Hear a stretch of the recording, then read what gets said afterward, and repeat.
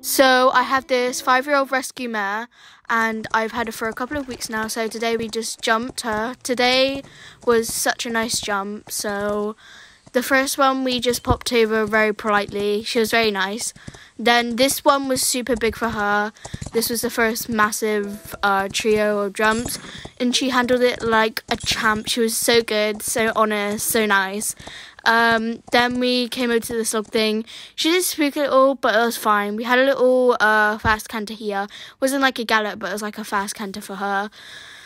Uh, it was very good, very chill. I didn't really jump too much after this. Um, because there was a lot of big jumps on this course because I usually take my other horses here. So yeah.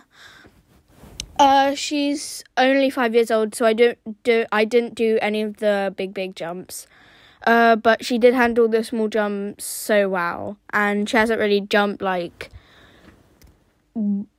since ages since her last home, which they abused her sadly. So now she's here. She's a lovely rescue.